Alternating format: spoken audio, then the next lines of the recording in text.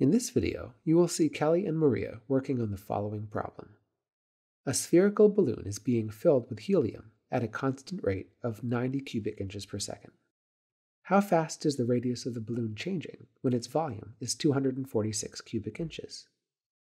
As they work, consider the obstacles they encounter and think about how you might solve the problem. So volume is 246 inches cubed. And we know the formula for the volume of a sphere is volume equals 4 thirds pi r squared. 4 thirds. Pi r squared. Okay. So, I mean, a spherical balloon is being filled with helium at a constant rate of 90 cubic inches per second. So, what is that rate describing? V prime. V prime equals 90 inches cubed per second.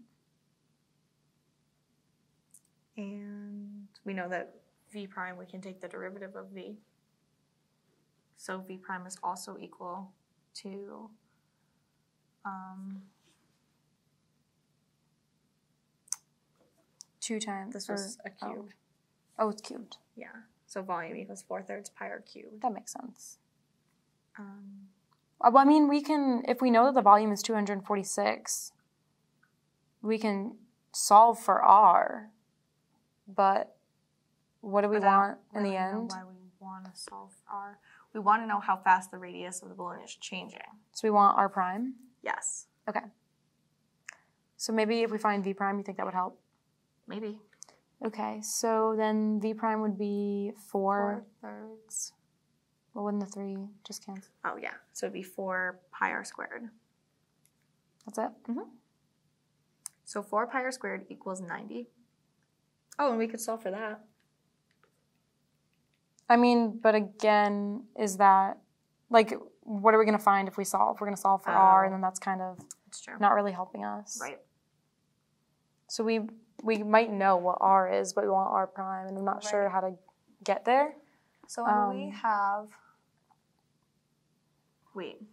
What is v prime? What do you mean? Like.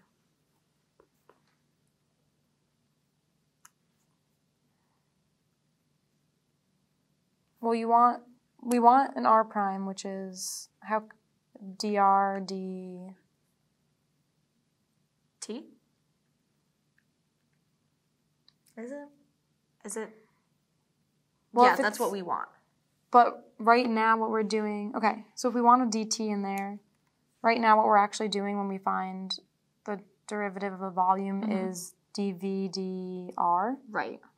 So we know dv dr is four pi r squared.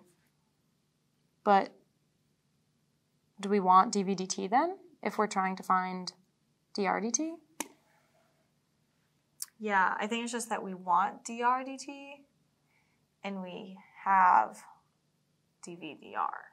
I don't really know how to get to switch in between them. Oh, okay. So you just you want to use dv dr to get to get dr dt. I think so. Um, I don't know how to do that.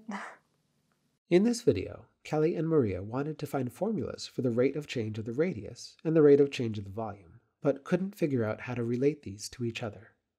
We'll explore how to find formulas to relate rates of change in upcoming videos.